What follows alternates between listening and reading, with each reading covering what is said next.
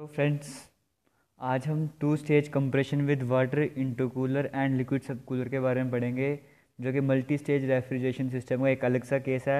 इससे पहले वाले केस में हमने पढ़ा था two stage compression with water intercooler उसमें सिर्फ़ हमने यही पढ़ा था, आज की जो वीडियो इसमें हम वाटर इंटर कूलर भी यूज़ कर रहे हैं और साथ साथ लिक्विड सब कूलर भी यूज़ कर रहे हैं। देखो वाटर इंटर कूलर का लिंक तो आपको डिस्क्रिप्शन में दूँगा, अगर आपने वो वीडियो नहीं देखी तो। अब यहाँ पर क्या वाटर कूलर भी यूज़ कर रहे हैं और लिक्विड सब कूलर भी यूज़ कर रहे हैं। वाटर इंटर कूलर का हमने बेनिफिट देख लिया था। लास्ट वीडियो में क्या था कि वो क्या कर रहा था? कंप्रेसर वर्क को कम कर रहा था। पहले हमें जो कंप्रेसर वर्क करना पड़ रहा था, वो यहाँ तक करना पड़ रहा था। अब ये चीज़ों एरिया कट जाता है, इतना कंप्रेसर वर्क करना पड़ता है, जो कि हम लास्ट वीडियो में डिस्कस कर चुके हैं। इसमें एक अलग से चीज़ यूज़ की जा रही है इसको हम लिक्विड सब कूलर कह रहे हैं। इस लिक्विड सब कूलर ये जो लिक्विड सब कूलर है, इसका मेन काम ये कि रेफ्रिजरेंट इफ़ेक्ट को बढ़ा रहा है। वो हम देखेंगे कैसे बढ़ा रहा है।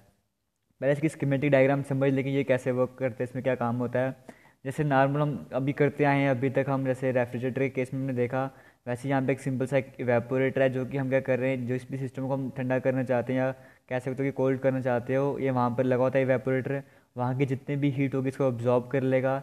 एब्जॉर्ब करने के बाद इस इवेपोरेटर में रेफ्रिजरेंट होता है, जो कि क्या करेगा एब्जॉर्ब होने के बाद वेपर में कन्वर्ट हो जाएगा। अब वो जो रेफ्रिजरेंट था हमारे पास, अब उसको हम चाहते हैं कि दोबारा से इसी स्टेज में यूज़ करें। तो हम क्या कहते हैं, करते हैं, जो हमारे पास वेपर फॉर्म में जो भी रेफ्रिजरेंट आ गया यहाँ से हीट लेने के बाद उसको हम भेजते हैं कि लो प्रेशर कंप्रेसर में जाता है वो। यहाँ पे दो कंप्रेसर यूज़ किए गए हैं, ठीक है? तो पहले लो प्रेशर कंप्रेसर में जाता है वो। हम पहले लास्ट वीडियो में डिस्कस कर चुके हैं, ऐसा क्यों है? तो लो प्रेशर कंप्रेसर में जाने के बाद वो वाटर इंटरकूलर में जाता है, जहाँ पर उसका टेम्परेचर थोड़ा और कम हो जाता है। और टेम्परेचर और कम होगा, इसका बेनिफिट हम लास्ट में स्टडी कर ही चुके हैं। और टेम्परेचर कम होने से बेनिफिट ये वाला, ये आपको स्टेज दिख रही थी सामने। यहाँ पे क्या कि अगर आप और ठंडा ना करते इसे तो यहाँ से ये लाइन सीधे इस तरह से जाती। और आपको कंप्रेसर वर्क बढ़ जाता है, अब ये थोड़ा इस तरफ़ आ रहा है टेम्परेचर कम हो गया, उसके बाद आप इसको फिर से कंप्रेस करोगे हाई प्रेशर कंप्रेसर में। तो देखो, इतना जो हमारे पास, ये जो एरिया था, ये वाला, ये एरिया हमारे पास कैंसिल हो गया तो इतना वर्क हमें कम करना पड़ रहा है। और दूसरा बेनिफिट भी आपको बताया था कि अगर आप एक ही इतना बड़ा कंप्रेसर लगाना पड़ेगा, अगर डायरेक्ट यहाँ तक, यहाँ से यहाँ तक आप कंप्रेशन वर्क चाहते हो तो एक ही बार में करना चाहते हो तो कंप्रेसर उसके लिए बहुत बड़ा चाहिए, जो कि ज़्यादा बेटर नहीं रहेगा। तो इसलिए ये चीज़ बेटर रहती है, हम ये चीज़ यूज़ करते हैं। हाई प्रेशर कंप्रेसर में हो गया ये फिर हाई कंप्रेशर के बाद हाई प्रेशर कंप्रेसर के बाद क्या होगा? ये जो हमारा रेफ्रिजरेंट था, जो भी यहाँ से फ्लो कर रहा था, वो कंडेंसर में जाएगा। कंडेंसर में जो कि क्या करेगा? यहाँ से जो भी उसकी हीट होगी, सारी सराउंडिंग में भेज देगा अपनी। और यहाँ पर क्या होगा? सराउंडिंग में भेजने के बाद ये फिर से फेस चेंज होगा, यानी कि फिर से वो लिक्विड फॉर्म में आ जाएगा। तो फिर जब ये लिक्विड फॉर्म में आ जाएगा तो अब इसका, लेकिन इसका प्रेशर इस टाइम ज़्यादा था, यहाँ पे टेम्परेचर भी ज़्यादा था प्रेशर भी ज़्यादा था। अब जो ये इवेपोरेटर वाली स्टेज में जो हमारे पास रेफ्रिजरेंट था, उसका टेम्परेचर भी कम था और साथ साथ प्रेशर भी कम था। अब यहाँ से टेम्परेचर धीरे धीरे कम होता जाएगा, हम प्रेशर भी कम करना चाहते हैं। तो यहाँ से जो लिक्विड हमारे पास आ गया, अपनी हीट बार सराउंडिंग में देने के बाद, वो यहाँ पे लिक्विड सब कूलर में एंटर करता है। लिक्विड सब कूलर में एंटर करने के बाद उसका टेम्परेचर और कम हो जाता है, यानी कि थोड़ा और ठंडा हो जाता है। तो उसे और ठंडा होने से क्या होगा? टेम्परेचर और कम हो जाएगा तो यानी कि जितना ज़्यादा वो, जैसे यहाँ पे जितना ज़्यादा रेफ्रिजरेंट ठंडा रहेगा, उतनी वो हीट एब्जॉर्ब कर पाएगा, क्योंकि जितना कम टेम्परेचर होगा और बाहर का टेम्परेचर तो ज़्यादा होगा तो जितना ज़्यादा टेम्परेचर डिफरेंस होगा, उतनी ज़्यादा हीट ट्रांसफ़र होगा। तो उतनी ज़्यादा हीट एब्जॉर्ब कर पाएगा तो यहाँ से दोबारा से थोड़ा और ठंडा हो जाएगा रेफ्रिजरेंट फिर उसके बाद वो एक्सपेंशन वॉल में जाएगा, जैसे कि हम सिंपल जो हमने सिंपल वेपर कंप्रेशन साइकिल पढ़ा था, उसमें भी दिखा था थ्रॉटलिंग वॉल वाला वर्क ये वही है सेम यहाँ पे क्या होगा थ्रॉटलिंग होगी यहाँ से प्रेशर और जो टेम्परेचर है वो लास्ट में इसके एंड कंडीशन में कम होगा, और लो प्रेशर और लो टेम्परेचर वाला हमारे रेफ्रिजरेंट मिलेगा, दोबारा से एवेपोरेटर में जाएगा एवेपोरेटर फिर से हीट एब्जॉर्ब करेगा और साइकिल रिपीट होती जाएगी। तो अगर आपको ये वीडियो थोड़ी कॉम्प्लिकेटेड लग रही है, समझ नहीं आ रही तो पहले की वीडियोस देख लो मेरी इसी सीरीज़ की तो आपको सारा समझ आ जाएगा। वो जो सीरीज़ है, इसको मैं आपको इस वीडियो के एंड में ऐड कर दूँगा। अब हम इसकी पीवी डायग्राम देखते हैं। देखो वन से टू क्या था हमारे पास? ये वन से टू हमने क्या किया? लो प्रेशर कंप्रेसर में क्या, यानी कि रिवर्सिबल एडियाबैटिक प्रोसेस कह लो या आइसेंट्रापिक प्रोसेस कह लो। तो ये वन से टू वो हो गया। टू से थ्री हमारे पास क्या? वाटर इंटरकूलर तो थोड़ा ठंडा हो रहा है कांस्टेंट प्रेशर पर हो रहा है तो टू से थ्री यहाँ पर ही आ गया। उसके बाद थ्री से फोर क्या था हमारे पास हाई प्रेशर कंप्रेसर यानी कि फिर से दोबारा से हम कंप्रेसर वर्क कर रहे हैं। यानी कि आइसेंट्रॉपिक या रिवर्सिबल एडिबैटिक बोलो तो वो ये लाइन आ गई। यहाँ पे सैचुरेटेड तक नहीं ले जाना इससे क्योंकि यहाँ पे पूरी तरह से सैचुरेट नहीं हुआ, इसलिए इस लाइन को मैंने टच नहीं किया यहाँ पर। उसके बाद फोर से फाइव क्या हमारे पास दोबारा से कंडेंसर है, यानी कि फेस चेंज भी हो रहा है यहाँ पर, और थोड़ा ठंडा भी हो रहा है तो कॉन्स्टेंट प्रेशर और कॉन्स्टेंट टेम्परेचर में ये आ गया फोर से फाइव वाला प्रोसेस हमारे पास कंडेंसर वाला प्रोसेस उसके बाद फिर फाइव से सिक्स लिक्विड सब कूलर दोबारा से कॉन्स्टेंट प्रेशर में, फिर फाइव से सिक्स कॉन्स्टेंट प्रेशर वाला आ गया। उसके बाद हमारे पास आ गया सिक्स से सेवन हमारे पास एक्सपेंशन वाला यानी कि आइसेंथैल्विक जो प्रोसेस है, वो सिक्स से सेवन हो रहा है और फिर सेवन से वन हमारे पास क्या आ रहा है, दोबारा से इवेपोरेटर आ गया जहाँ पे फिर से फेस चेंज हो रहा है तो वो कांस्टेंट प्रेशर और कांस्टेंट टेम्परेचर वाला प्रोसेस आ गया। तो ये सारी चीज़ें भी इससे पहले की वीडियो में हम डिस्कस कर चुके हैं, कैसे ये आइसन क्यों ये आइसेंथोलिपिक था और क्यों ये constant pressure constant temperature line से ये सब हम पहले डिस्कस कर चुके हैं।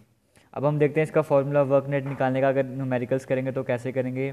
अगर टोटल वर्क हम निकालना चाहते तो हमें इसके लिए जो हम वर्क दे रहे हैं वो यहाँ पर ये वर्क हमारे पास।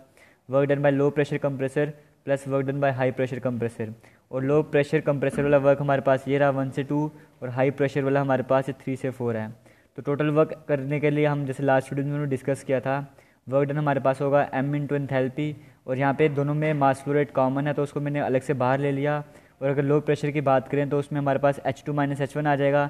ये पहले की वीडियोज़ में डिस्कस कर चुका हूँ, अगर आपको नहीं समझ आ रहा तो आपको वो वीडियोज़ देखनी पड़ेंगी, उनका लिंक मैं डिस्क्रिप्शन में दे दूँगा।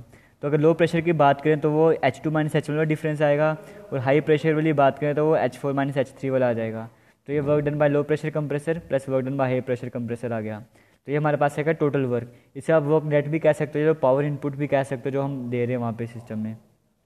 अब रेफ्रिजरेंट इफ़ेक्ट की बात करें तो वो सिंपल सा सामने देखने में पता लग रहा है। रेफ्रिजरेंट इफ़ेक्ट हमारे पास ये वाली कंडीशन आ गई।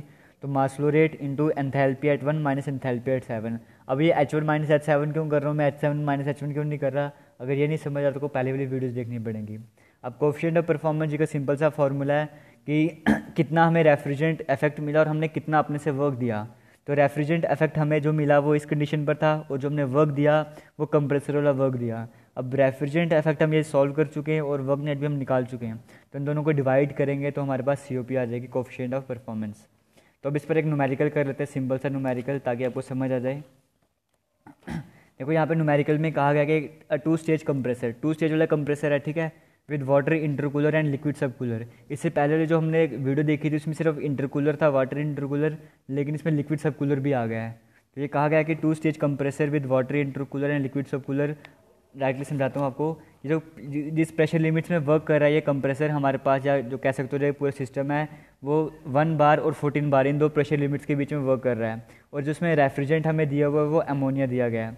और प्रेशर दिया गया वाटर इंटरकूलर का 5.5 बार और उसके बाद कहा गया कि रेफ्रिजरेंट जो एंटर कर रहा है लो प्रेशर मतलब कि लो प्रेशर कंप्रेसर में जो रेफ्रिजरेंट एंटर कर रहा है यहाँ पर, इस पोजीशन पर, वो ड्राई सेचूरेटेड है। तो इसलिए मैं क्या करूँगा, इस पॉइंट से स्टार्ट करूँगा डायग्राम को बनाना है इसको। ये वन से टू हमारे पास आ गया।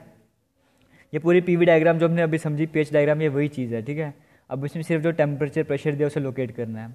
फिर कहा गया कि the water intercooler superheats the compressor vapour to thirty degree Celsius देखो जो इंटरकूलर है वो ही सुपर हीट कर रहा है कंप्रेसर कंप्रेसर वेपर को तीस डिग्री सेल्सियस तक।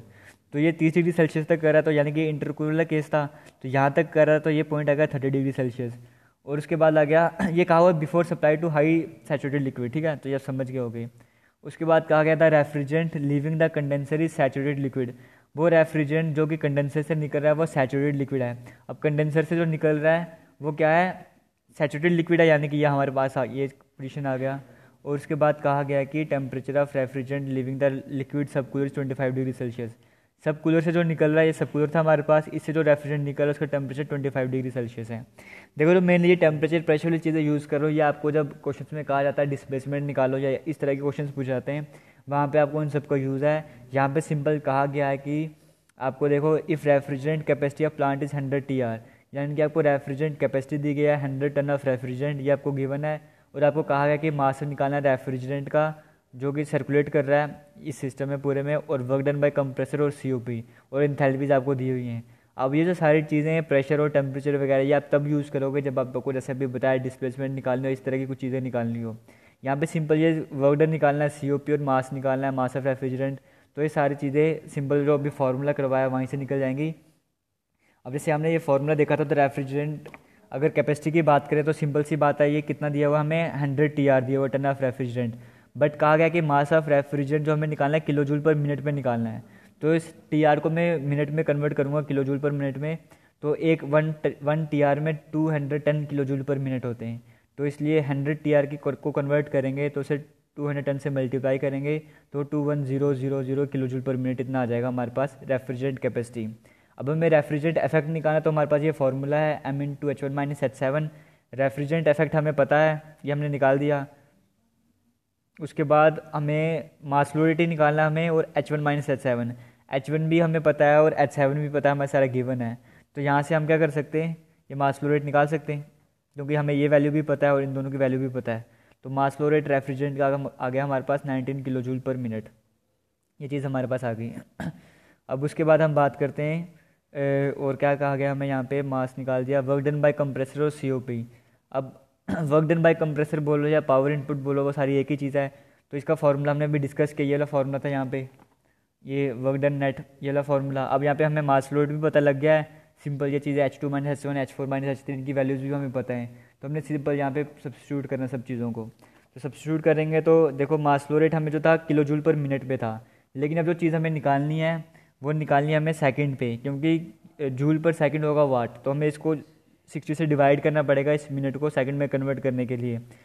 तो सारी चीज़ें हमें गिवन है, बस इसको सिक्सटी से डिवाइड करना पड़ेगा किलो जूल पर मिनट को किलो जूल पर सेकंड में कन्वर्ट करने के लिए। तो हमारे पास पावर आ जाएगी one one seven point four seven kilowatt ये हमारे पास पावर आ गई, ठीक है?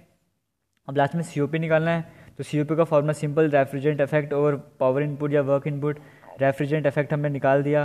और पावर इनपुट हमें पता है। अब यहाँ पे रेफ्रिजरेंट इफ़ेक्ट हमें किलो जूल पर सेकंड पर चाहिए। तो यहाँ पे हम हम क्या करेंगे? हंड्रेड को मल्टीप्लाई करेंगे थ्री पॉइंट फाइव से। क्योंकि अगर इसको किलो जूल पर सेकंड से मल्टीप्लाई करना तो one T R equal to three point five kilowatt तो इसलिए थ्री पॉइंट फाइव से मल्टीप्लाई किया और सी ओ पी हमारे पास आ गई टू पॉइंट नाइन सेवन ठीक है? तो ये था हमारे पास सारे सिस्टम कि कैसे कैसे, क्या सॉल्व करना है। तो ये था आज की वीडियो में इतना ही। थैंक यू जय हिंद।